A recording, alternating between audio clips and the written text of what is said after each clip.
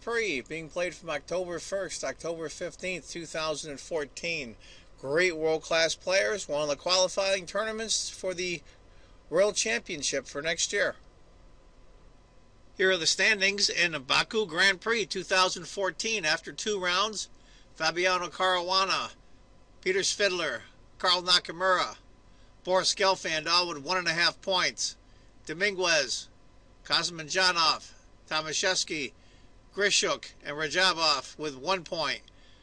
Karyakin and Mamedyarov with one half point, and Andreikin yet to score with zero points. Well, my buddy's in the hunt, Nakamura. Let's see how the rest of the tournament goes. It's going to be a long one. Hi, folks. John Cordisco back again. Round two of the FIDE Grand Prix in Baku 2014. One of the qualifying tournaments to get in the candidates final to play for the World Championship next year. I'm happy to say this is my buddy from the United States, Carl Nakamura, as black, and Dmitry Andreikin from the Soviet Union, I should say Russia instead, as white. Uh, it's going to be a great game. It's a Dutch defense. Go, Carl. Nakamura is black. Andreikin is white. Let's go through it. It's going to be a Dutch, as I said before. I wanted to say there's going to be a video at the end of this video with the press conference with the two players talking about the game. Uh, it's kind of interesting. Give you an idea what they were thinking. Tassels, pretty much standard Dutch stuff. C3. This is the move that was out of the norm for the Dutch. Standard moves are knight c3, c4, bishop f4. Andreikin tried c3. Now it's about a half a point advantage for white right now, but I guess that was a new. I don't think it's a a brand new new move, but it's a move that's very rarely played. D6. I think they mentioned they played this in a rapid game, I should say a blitz game of one minute. They play bullet a lot on ICC and play chess, uh, Draken and Nakamura. And they had mentioned that. Queen to b3, e6. It is the correct move, but I just don't like blocking in the dark square bishop. That is the correct move. Bishop g5, pinning the knight. Queen e8. Standard stuff. Queen to d7 is also acceptable. I think it blocks in the bishop again, but Queen e8, Knight to d2, the b knight to d2. Knight comes up to h5. Knight to c6 is the computer move. It must be something that Carl is working on there. Don't know what the point of that is. Uh, maybe he can explain it and you'll see. I'm trying to remember if he did it in the video or not. Knight to e1, you know, going over these Grandmaster games like I do, my own personal games, the Grandmaster game is a little bit harder because you get an idea what they're what they're striving for, but when they make a move like that knight to h5, you wish they were here or could tell you what was their thinking process at the time. And that's how us guys learn. We're just average players, at least most of us are. h6, kick the bishop. Bishop goes back to e3. Knight to c6, a5, and f4. g5 is coming up now a little bit. All legitimate moves. Carl decides to go g5. And right away, Andreikin opens it up with f4. Should he push? Should he lock it up? Carl takes. Bishop takes. I probably would have played knight takes bishop as well. Carl tried king to h8. He wants to get out of this queen nonsense on his king. Bishop back to e3.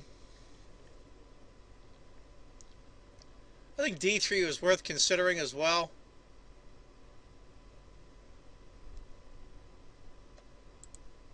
Knight c6, finally the knight gets developed. Knight to d3. b6. Well, we see where the light square bishop is going to go. Is it gonna either go here on b7 or here? Now, this is a move that the question mark, a double question mark for Andreikin. And they talked about this move a little bit, and I think it's worth exploring. Right now, it's about a point advantage for white. He went g4, and immediately his advantage completely evaporated, and it's almost almost a half a point advantage for black now.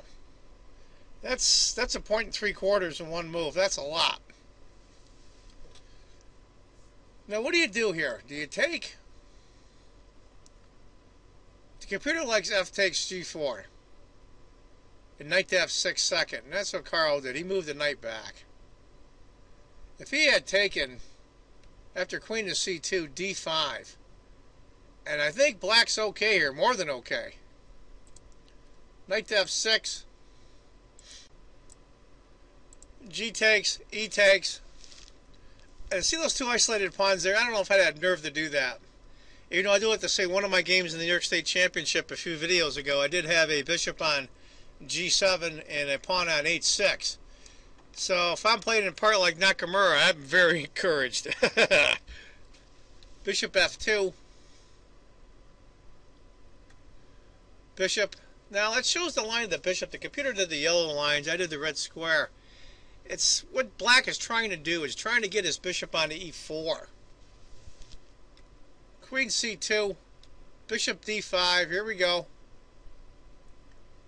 Knight f3. Those of you that are wondering if bishop had taken after knight takes, rook over, bishop f6.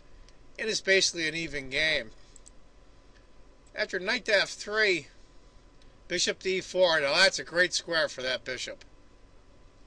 Now if it gets taken, say a bishop takes in the future, pawn takes, and this pawn comes up, and that's a real strong center. And on top of that, opens up this f-file onto white's king. Very nice. Queen to d2. Knight d7. Now slowly but surely, I think and it's not anything like one or two move big deals. I think slowly but surely Nakamura is slowly outplaying Andreikin and building up an advantage here. Bishop h4. To h7 is a suggestion by the computer. Knight e to d5. All those are pretty good moves. Nakamura decides to go knight to g6 to challenge that bishop. I like that move actually a little better than the computer choices. Bishop takes. Now, what do you take with? You take with the rook or the bishop? Well, obviously, you take with the rook. What happens is if you take with a bishop, those who are not watching, queen takes check. And that really sucks for black.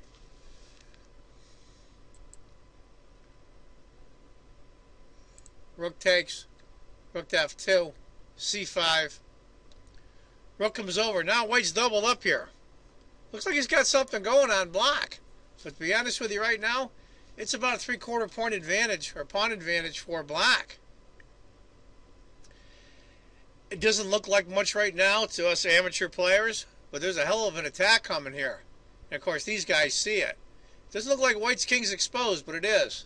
Queen e6, Slowly turning the screws, A3.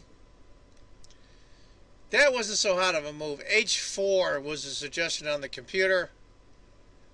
Try to get that knight out of there. He went A3. After H4, those of you that are wondering, after C4, H5, pawn takes, pawn takes. He gets his piece back, of course, because you see he's attacking the bishop and the knight, both. So he gets his piece back. But after a3, rook to g8, here we go. It's a point and a half advantage right now for black. King to h1. Not going to decide to come up a square. Maybe he's eyeballing to protect the h6 maybe, or the g6 square, I'm not sure. And this is where Andreikin goes wrong again. h4 again is a suggestion on the computer. or rook to g1. It's hard doubling up rooks and then taking them off. I like h4 myself. He went queen to g, queen to e3, and the points are creeping up now for black. I can see the computer here running off screen. I got a Fritz 13 running, and we're coming up on almost a two-point advantage. If h4, bishop takes, bishop takes h5, and I'll tell you what, I think that white's out of the doghouse.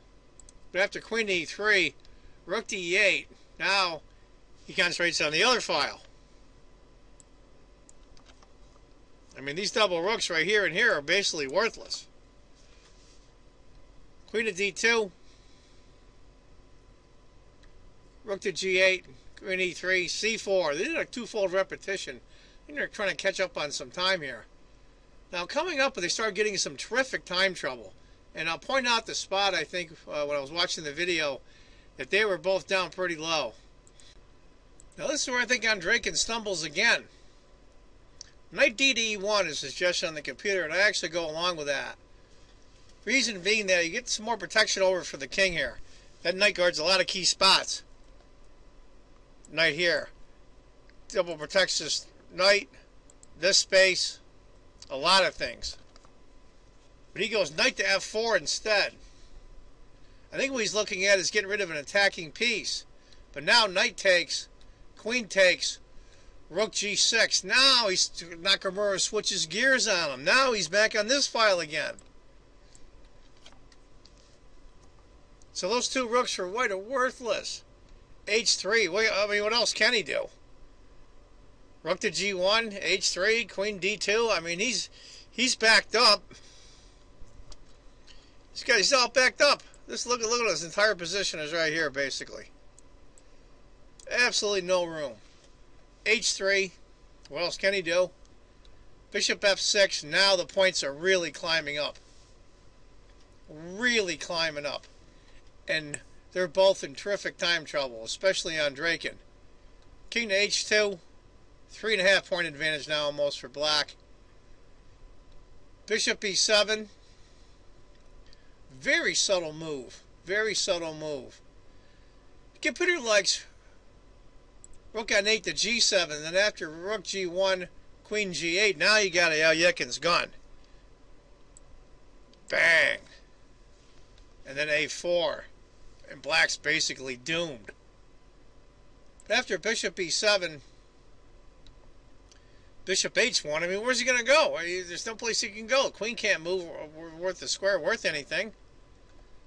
Well, the rook comes up. Rook to g2 and bishop g5. And this is here, roughly, we're on move 36 now, where Nakamura had about two minutes left, according to the video online. And Andreikin had about a minute. You got four moves to go.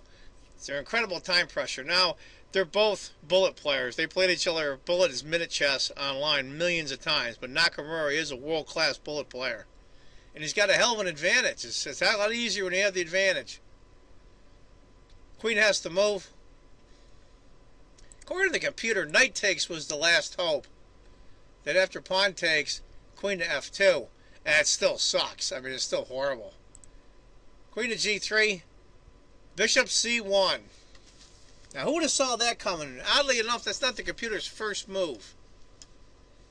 Bishop e3 is. Then bishop c1. It's slowly creeping up.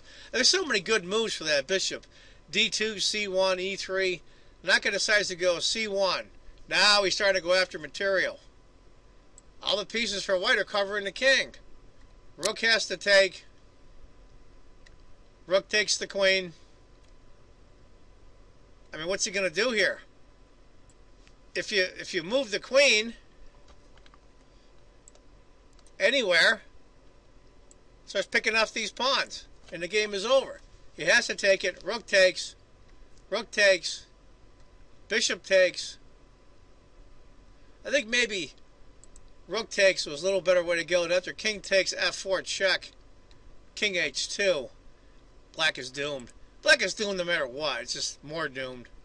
Rook, ta rook takes check, king takes, bishop takes, queen e3. Now we got a queen and a bishop for a queen. And you think that's more than enough, but it really isn't. Rook to g1 check. Moves, bishop, trying to get some counterplay. Queen to d2. Rook checks.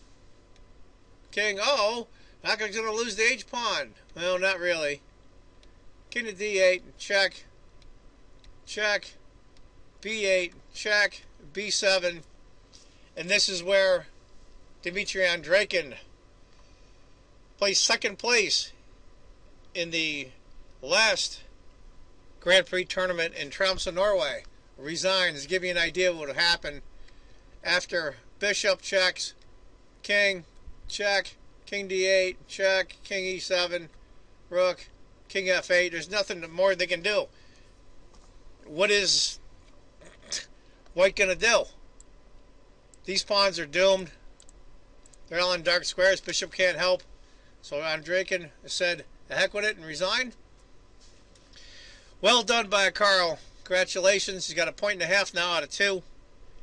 You'll see a, a, short video of both of them at the end of this video. I hope you enjoy it. Anyway, folks, I want you to remember, if you think chess is just a game, you're not playing it right. Carl Carl. Take care, folks. Bye-bye. Gentlemen, welcome to press conference. We have at the moment Hikaru Nakamura, and uh, let's check what happened in this game. He won it. Yeah, all right. I mean, I decided to play a Dutch, uh, more or less to try and surprise Dimitri. Um, I just, you know, I haven't played it in quite a few years, so I thought no reason not to try it now. Um, okay, I mean, I, I didn't really know what line he would play because I saw he had only played one game, I think, and it was against me, and it was in Blitz, so um, I really didn't know. But he played the C3 line. Um, Okay, all this, uh, up, up until here I knew it. I mean, I didn't know this bishop g5 move previously.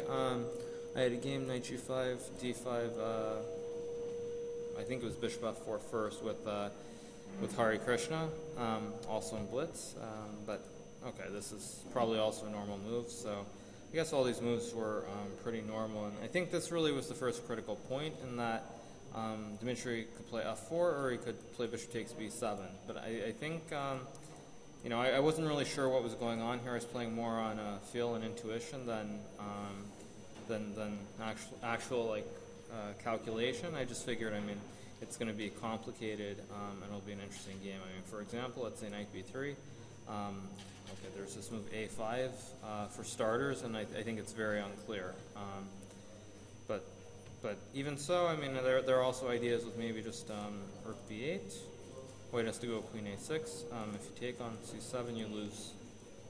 You lose. Um, you lose the queen queen takes d6, bishop f8, and the queen is trapped on d6. So, queen a6, and now, um, yeah, and so, and so, now, I mean, I think it's, I mean, very unclear. Something like uh, e5 or maybe just f4 first. Um, bishop c1 and e5. I mean, it's, it's unclear. White is a pawn, but um, I think it's much easier to play for black than it is for white. Um, we are checking the variation should b7 uh, at the moment. Ну да, ну опасно. Компенсация хорошая. It looked dangerous, uh, good compensation.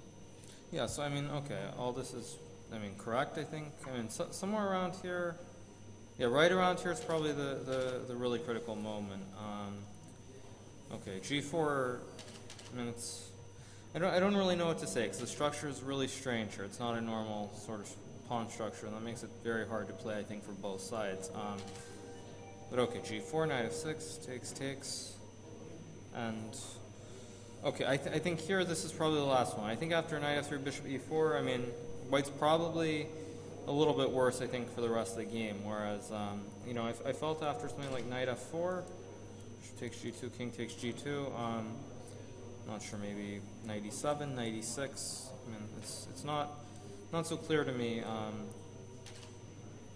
if, if black has, has an advantage here after king h1. I mean, it, it looks much better, but I, I wasn't 100% sure.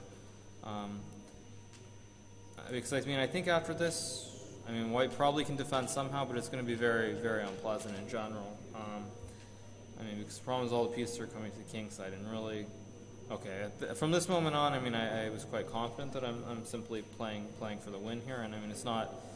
I'm not really sure what White can do other. I mean, other than what Dimitri did, which is kind of just sit and wait. I mean, and of course, at some point, it's not um, not really clear. I mean, okay, after the game, I mean, I spoke a little bit with Emil Sutovsky, and he, he seemed to think that it wasn't so clear. I mean, around this position, if if uh, if White kind of just just just waits here, um, I think maybe even just Bishop G2. I mean, he, he wasn't so sure. Um, Queen G8 and uh, Bishop H1 and D5. And I don't have. Ah, like this one. Yeah, yeah, yeah. Okay, yeah, makes sense. Ah, yeah. Okay, yeah. Then Rook G. Yeah, then then then it's all just winning. So I mean, probably somewhere. I mean, somewhere. I. I mean, I just think it's. I mean, it's just worse. I mean, pretty much from after knight f3 on, it's just. I mean, I don't know. I mean, what what you can do. I mean, okay, you can play like in the game, but I mean, I, I think it's just just losing. I think this end game's losing. I mean. Of course, uh, it was a little bit tricky because I was getting low on time, and at first I thought, I mean, somehow this should be winning, but um, after Queen H4 uh, takes. Oh wait, no, Queen Queen H.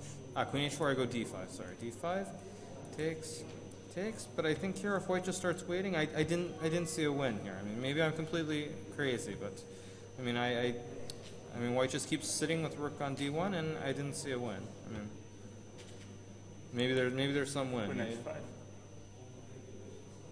Queen H5? Ah, Queen F6. no, no. Ah, Queen H. Ah, okay. This is how I win this. Ah, okay.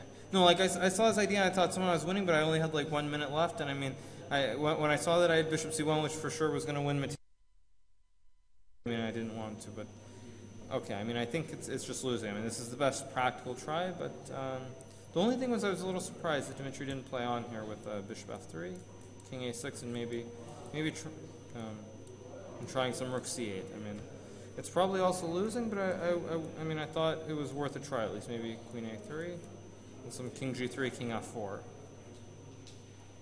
I mean, I assume it's I assume it's losing somehow, but I mean, I didn't I didn't see a win right away, so I, th- I thought maybe it'd play on, but I mean, objectively it should be lost anyway. So I mean, it's just yeah, just that's how it goes. Uh, Dmitry, can you say something about this game and uh, what was the moment you lost your track in this, in this game? М, Ну, наверное, первый момент критический это Yeah, пере- the, the first critical moment.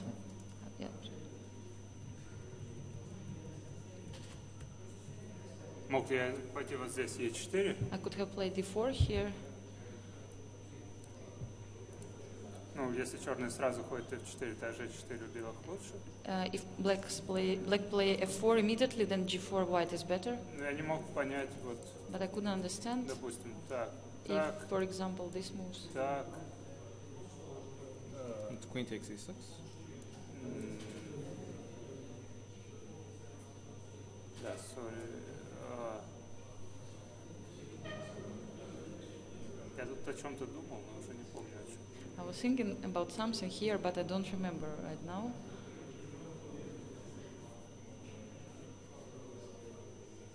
Да, может быть, вот слон H4 пойти. Maybe I could have played bishop интересно. h4. It was also interesting. Ну, то есть, в общем, тут какая-то могла быть у белых игра, но White could have got some play более here. сам тоже посчитал.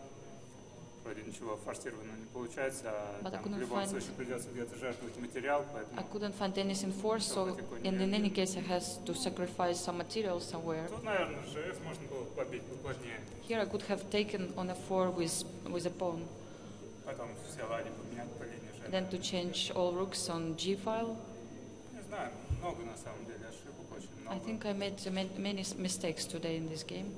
Потому что здесь я, например, тоже считал, что у меня точно не хуже, Uh, here I was uh, considering this position as not worse for me at least. но тем не менее как-то вот в несколько ходов буквально развалился, просто ушел в оборону. But uh, in, in just in after a few moves, uh, my, uh, actually I had to go have to turn to defend to defend the position, and actually the position collapsed. Вот мне тут очень не нравился конь H5 вот. I didn't like here uh, Bishop G3. knight Потому что h5 ну, на move. конь Е7 я думал слон G3, там, ну а тут вот конь H5, Bishop G3. and, uh, Okay, it's extra pawn. не, ну вот как-то так вот можно было в общем играть, да. I could have played like this. It was У белых possible. не должно быть плохо. It shouldn't be bad for bl- for white. И потом